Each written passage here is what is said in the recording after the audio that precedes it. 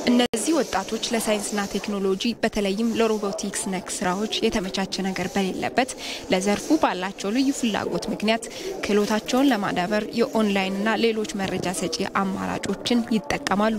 በዘርፉ ሀገራቸውን ወክለው ለመወዳደር ዝግጅት ሲያደርጉም ነው ያገኘናቸው። በአሜሪካና ካናዳ በሚካሄደው ውድድር ላይ ከሌሎች ሀገራት ታዳጊዎች ጋር የመወዳደር አቅም ላይ መሆናቸውንም ይገልጻሉ። እቃዎችን እነዚህ cone ኦችን እያነሳ በመደርደር እኛን ፕሮግራም እናደርገው በ joystick ምክንያት በአንድ ደቂቃ ውስጥ ሁሉንም cone ኦች የተዘጋጀበት ቦታ መቀመጥ አለበት። ሮቦቱንም ሁሉንም ነገር አዘጋጅተናል። የምንወዳደርበት ደግሞ ሶስት ዘርፍ ነው። designing፣ engineering እና coding ነው። ሶስቱን ዘርፍ በደንብ አድርገን አጥንተናል። ጥሩ ውጤት እንጠብቃለን ማለት ነው። አምና አሜሪካን ሀገር በናሳ በተዘጋጀ ተመሳሳይ ውድድር ላይ ከተሳተፉ ወጣት ታዳጊዎች ጋርም የልምድ ልውውጥን አድርገዋል። PVC pipe ከ horizontal ወይም እንደዚህ በተቀመጠበት ወደ ላይ አንስተን ቀጥ አድርገን ማቆምና መመለስ ነበረ ማሽናችን መስራት የነበረብን። እሱንም ነበር የሰራነው ፕሮግራም በማድረግና ያው የተለያዩ ቴክኖሎጂዎችና robotics concept ን ተጠቅመናል። ብዙ ችግሮች ሊያጋጥሙ ስለሚችሉ ያው አለመፍራት፣ ሁሉም team አንድ ላይ መስራት አለበት። ተወዳዳሪዎቹን ይዘው የሚጓዙት የኢትዮ ሮቦቲክስ መስራች አቶ ሰናይ መኮንን ታዳጊዎቹ ክህሎታቸውን አሳይተው የሚመጡበት የውድድር መድረክ ነው ብለዋል። ለዚህም የመተባበር ድል በሆነው አድዋ ራሳቸውን ሰይመዋል። ማን ከማን ጋር ይወዳደራል? ማን ከማን ጋር ያጋጥመዋል? አሁን የእኛ ተማሪዎች ከቻይና ጋር ሊወዳደሩ ከጃፓን ጋር ሊወዳደሩ ይችላሉ። በሌላው መድረክ እንደምናደርገው አሁን ደግሞ በቴክኖሎጂ የአድዋ team ብለን ኢትዮጵያን ነጮችን የሚያሸንፍ ታዳጊ ሆነን ልንሄድ ተዘጋጅተናል ስላሉን ነው ራሳቸውን team አድዋ ብለው የሰየሙት። የቴክኖሎጂና ኢኖቬሽን ኢንስቲትዩት በበኩሉ ዘርፉን በግለሰቦችና ጥቂት ተቋማት ጥረት ብቻ ማሳደግ የማይቻል በመሆኑ የመሰረተ ልማት ስራዎችን እያስፋፋን ነው ይላል። ማንም ሰው ሀሳብ ያለው ሰው inventor ነኝ የሚል innovator ነኝ የሚል ሀሳብ አለ የሚል ሰው book አድርጎ በዛ ሰዓት ውስጥ ሀሳቡን ይዞ እንዲወጣ ሀሳቡን ወደ material ቀይሮ ወደ ውጤት ቀይሮ ይዞ እንዲወጣ ወርክሾፖችን፣ ላቦራቶሪዎችን ለማደራጀት እየሰራን ያለ ነው። ከዛ ባለፈ ደግሞ እንደዚህ የፈጠራ ውጤት ያላቸውን ህጻናትን ይሁን ተመራማሪዎች ለማስተዋወቅ፣ ለመደገፍ ከኢንዱስትሪው ጋር ለማስተሳሰር የማስተዋወቅ ስራዎችን እንሰራለን። በኢትዮ ሮቦቲክስ አማካኝነት ለ11ኛ ጊዜ ኢትዮጵያውያን ታዳጊዎች የሚሳተፉበት የቬክስ 2019 እና ካናዳ ግሎባል ስቴም ፌር ታዳጊዎቹ ምንም እንኳን ለቴክኖሎጂ ያላቸው ቀረቤታ ከተወዳዳሪዎቻቸው አንጻር ውስን ቢሆንም ኢትዮጵያን ወክለው አፍሪካንም ጭምር ለማስጠራት ተዘጋጅተዋል። ተመልሰናል። በዚህ ጉዳይ ላይ ተጨማሪ ማብራሪያ እንዲሰጡን እዚህ ስቱዲዮአችን እንግዳ ጋብዘናል። አቶ እስራኤል ሲሳይ በኢትዮ ሮቦ ሮቦቲክስ የ workshop manager ናቸው። ጤና ይስጥልን። ያው እዚህም ጭምር ስቱዲዮአችን ውስጥ የፈጠራ ስራዎችን እየተመለከትን ነው እና ከምናየው ነገር እንጀምር እስቲ። ምንድን ናቸው እነዚህ ነገሮች? እየነካካው ነበር። እነዚህ ሮቦቶች ናቸው። ተማሪዎቹ ያው kit አለ የሚመጣ kit አለ። እሱን በመጠቀም የ designing እና የ engineering skill ኣቸውን ተጠቅመው ይገጣጥሟቸዋል ማለት ነው። ከገጣጠሟቸው በኋላ ደግሞ ፕሮግራም ይደረጋሉ። የራሳቸው ሶፍትዌር አለ። ፕሮግራም አድርገው የተለያዩ task ኦች አሉ የሚሰሯቸው። የራሱ field አለው። field ኡ ላይ የሚሰሩ task ኦች አሉ። ቀደም ቪዲዮ ላይ እንዳየነው። ስለዚህ እነዛን ስራዎች የሚሰራ ሮቦት ነው ማለት ነው። ተማሪዎች በ group የሚገጣጥሙ በተማሪዎች ነው የተሰራው። አዎ ሙሉ በሙሉ በተማሪዎች ነው የተሰራው። ተማሪዎች ይገጣጥሙታል። እንደገና redesign ያደርጉታል። የተሻለ design በ iteration ጥሩ perform የሚያደርግ ሮቦት አድርገው ዲዛይን ያደርጉታል። እስኪ አሁን እዚህ የምንመለከተው ነገር አለና ለተመልካቾቻችንም ያው ግልጽ እንዲሆንላቸው የሚያውቁትም ሊኖሩ ይችላሉና ስለ እነኚህ ነገሮች እስኪ ንገሩ። እነዚህ አሁን ሁለት አይነት ሮቦቶች ናቸው። አንደኛው WR የሚባል ካናዳና ቻይና ላይ ውድድር የሚያዘጋጅ company አለ ወይም የ robotics stage አለ። እዛ ላይ ለሚደረገው ውድድር እነዚህን kit ኦች እንጠቀማለን ማለት ይለያሉ። እነዚህ program based ናቸው። በብዛት programming skill ላይ focus ያደረጉ ሮቦቶች ናቸው። so አንድ ፕሮግራም ከተደረጉ በኋላ automatically በራሳቸው field ላይ line trace እያደረጉ ስራዎችን ይሰራሉ። የተለያዩ ለምሳሌ የሚከፈት ነገር ይከፍታሉ፣ የሚጫን ነገር ይጭናሉ። እንዲሁም የተለያዩ task ኦችን ይሰራሉ ማለት ነው እነዚህ ነው።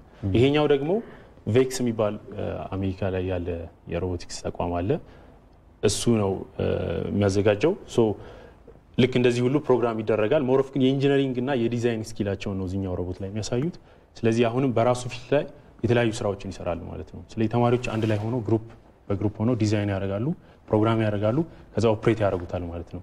ስለዚህ በዚህ መሀል ያው የ engineering የ designing skill አቸውን ያው ይጨምራሉ ማለት ነው። ወይም ደግሞ በቀለም ትምህርት ላይ የሚያገኙትን የሳይንስ የፊዚክስ የ mathematics እውቀታቸውን ተግባር ተኮር በሆነ ስልጠና apply እንዲያደርጉና የክሬቲቪቲና የኢኖቬሽን ስኪላቸውን ያሳድጉበት platform ይፈጥራል።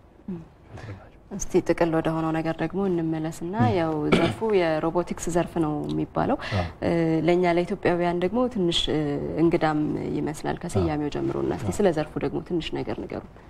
እሺ ያው የሮቦቲክስ ዘርፍ በብዛት ያው ቴክኖሎጂ ላይ base አድርጎ የልጆችን የ creativity እና የ innovative skill የሚያዳብር training ነው። እና በብዛት ያው material ኦች አሉ። ኤሌክትሮኒክስ ናቸው ኤሌክትሮኒክ የሆኑ እቃዎች ናቸው በብዛት። ከውጭ ነው የሚመጡት። እነሱም እየገጣጠሙ ያው ተግባር ተኮር ስልጠና የሳይንስ እውቀታቸውን በተግባር የሚለማመዱበት የትምህርት ዘርፍ ነው በአጠቃላይ ሮቦቲክስ ሌላው ደግሞ ያው በትምህርት ቤት ያው ልጆችም ሳለ ብዙ ጊዜ በሽቦ በተለያዩ በባትሪ እየገጣጠሙ ህጻናት የፈጠራ ስራቸውን ይሰራሉ እና ደግሞ በአሁኑ ዘመን እንዲህ አይነት ነገሮች መምጣታቸው ምን ያህል ነው ህጻናቱን ትኩረት ስበው ወደ ፈጠራ ስራ የሚገቡት የሚለውን እስኪ እንመልከት። በፊት በሽቦ ነገር ነበረ አስታውሳለሁ። ባትሪም መብራት እንዴት ይፈጥራል የሚለውን ነገር ትምህርት ቤት ላይም የምናስታውስበት በልጅነት ጊዜ እንዲህ አይነት ነገሩ ምን ያህል ነው ትኩረት የሚስበው? ያው በጣም የልጆችን ትኩረት ይስባል ነገሩ፣ በጣም motivate ያደርጋቸዋል። ምክንያቱም ቀላል ነው። already ለዚህ ተብሎ ዲዛይን የተደረገ እቃዎች ስለሆኑ እቃዎቹ በቀላሉ ከቴክኖሎጂ ጋር እንዲተዋወቁ የሚያደርጉ ናቸው እና በጣም ደስተኞች ሆነው ነው የሚሰሩት። ፕሮግራም ያደርጉታል፣ ይገጣጥሙታል፣ redesign ያደርጉታል እና ብዙ hassle ስለሌለው በቀላሉ scientific የሆነውን academic እውቀታቸውን መተግበር የሚችሉበት እድል ስለሚፈጥርላቸው interested ናቸው ተማሪዎቻችን። የተለያዩ ዓለም አቀፍ መድረኮች ላይ ነው አሁን የውድድር እድሎች እየመጡ የሚገኙት እና ከዚህ አንጻር ተሳታፊ መሆን የሚችሉ ታዳጊዎች ምን አይነት ናቸው? መስፈርቱ ምንድን ነው? መስፈርቱ ምንድን ነው? ያው normally ሮቦቲክስ ተቋማችን ላይ የመጣው ይመዘገባሉ በ elementary በ middle school እና በ high school level ነው የምናወዳድረው። ምንም የተለየ መስፈርት የለውም። ማንኛውም እድሜው ለምሳሌ ከዘጠኝ ዓመት ጀምሮ ያለ ልጅ መጦ መመዝገብ መወዳደር ይችላል ማለት ነው። እነዚህን ሮቦቶች kit ኦች አሉ እናቀርባለን። በ group design እያደረጉ ይሰራሉ። መወዳደር ብቻ ነው ወይስ ስልጠናም ትሰጣላችሁ? አዎ ስልጠና እንሰጣለን። በቂና ረጅም ስልጠና እንሰጣለን። ከስልጠናው በኋላ ነው የተለያዩ አገር አቀፍ ውድድር ላይ አሸናፊ የሆኑት ናቸው ለዓለም አቀፍ ውድድር qualified ሆነው የሚሸኙት። ግን ወርክሾፓችን ላይ በየሳምንቱ training እንሰጣለን ማለት ነው። ያው ቦታው ምናልባት ያው አዲስ አበባ ውስጥ ስለሆንም አዲስ አበባም ያሉ ክፍለ ሀገርም ያሉ ተመልካቾቻችን የት ነው ቢሉ አድራሻውን። እሺ አሁን በዋነኝነት እየሰራን ያለ ነው ቦሌ አካባቢ TK ህንፃ ላይ ሁለተኛ ፎቅ፣ እዛ ነው ወርክሾፓችን የሚገኘው። ስለዚህ ማንኛውም ሰው መጥቶ ሊጎበኘን ይችላል፣ መመዝገብ ይችላል፣ training መውሰድ ይችላል። መልካም። እንግዲህ ጥሩ ጥሩ ጅማሬዎችን ነው እየተመለከትን ያለ ነው እና እንደዚህ አይነት ነገሮች ኢትዮጵያ ውስጥ እየተሰሩ ነው እንደሚያስብሉ ሁሉ ናቸው አንዳንዶቹ ስራዎች እና ምናልባትም ታዳጊዎቹ ከእድሜያቸው በላይ የሆነን ነገር ነው እያበረከቱ የሚገኙት። ከዚህ አንጻር ግን ምናልባትም ወደ ማህበረሰቡ የሚወርድበትን አጋጣሚ ለመፍጠር ኢትዮጵያን በዓለም አቀፍ መድረክ በደንብ የምትተዋወቅበትን ሁኔታ ለማመቻቸት እንደው ዘርፉ ላይ እንደዚህ ቢደረግ ተብሎ የሚነገር ነገር ካለ ያው ዘርፉ አዲስ ከመሆኑም አንጻር ለሀገራችን እንግዳ ከመሆኑ አንጻር ትኩረት ያለመሰጠት ችግር አለ በመንግስት አካላትም በአንዳንድ ተቋማትም። ስለዚህ ያው ወደፊት መጪው ዘመን ያው digitalized እየሆነ የሚመጣ ዓለም ስለሆነ ልጆቹን ካሁኑ ከሚመጣው ዓለም ጋር familiarize ብናደርጋቸው በደንብ cope up ማድረግ ይችላሉ ብለን እናምናለን። ስለዚህ መንግስት ትኩረት ሰጥቶ የትምህርት ተቋማትን በ curriculum ደረጃ የሮቦቲክስ ትምህርትን consider አድርገው ቢሰራበት ብዬ አስባለሁ። መጪውን ዘመን በደንብ fit ለማድረግ እንዲቻል ማለት ነው እና ትኩረት ቢሰጥ ተማሪዎች መስራት የሚችሉበት እድል ቢመቻች ልክ በየትምህርት ቤቶቹ ልክ የሳይንስ lab ኦች እንዳሉ ሁሉ የሮቦቲክስ lab ኦች የሚቋቋሙበት እድል ቢኖር የበለጠ መልካም እና የተሻለ ይሆናል ለልጆቹ። አጋር አላችሁ ምናልባት ይህን ዘርፍ የሚደግፉና ከእናንተ ጋር አብረው የሚንቀሳቀሱ? ብዙ አጋሮች የሉም ለጊዜው። ግን ያው ከኢኖቬሽን ከሳይንስ ከኢኖቬሽን ሚኒስቴር ጋር አብረን በጋራ እየሰራን እንገኛለን። እቃዎች ከውጭ ሀገር የሚመጡ ይመስሉኛል አብዛኞቹ እና በቀላሉ ማግኘት አይቻልም መገጣጠሚያ እቃዎችን እና ካለው ሁኔታ ደግሞ ህጻናት ቤተሰብ ያው የዘሩ እናት አንድ ሰኞ እንዲህ አይነት ፕሮግራም አቅርበን ነበር እና ወላጆች በቂ ለመግዛት የማይችሉበት አጋጣሚ አለና እንዴት ነው አሁን እቃዎችን ለመግዛት መገጣጠሚያዎችን? ያው በተቻለ መጠን ያው እቃዎችን እኛ ከውጭ እናስመጣለን reasonable በሆነ price ልጆቹ access ማድረግ የሚችሉበት price በተቻለ መጠን ያው እናቀርባለን እና ያው በእርግጥ ዋጋዎቹ ከውጭ ከመምጣታቸው አንጻር የመወደድ ነገር የተወሰነ ሊኖር ይችላል። ግን ያው አስፈላጊ ሆኖ ስለተገኘ በተቻለ መጠን fair በሆነ price ያው እናቀርባለን እቃዎች። በጣም እናመሰግናለን አቶ እስራኤል ሲሳይ በኢትዮ ሮቦ ሮቦቲክስ የ workshop manager። መልካም ቀን ይሆንልዎት። አመሰግናለሁ። እሺ።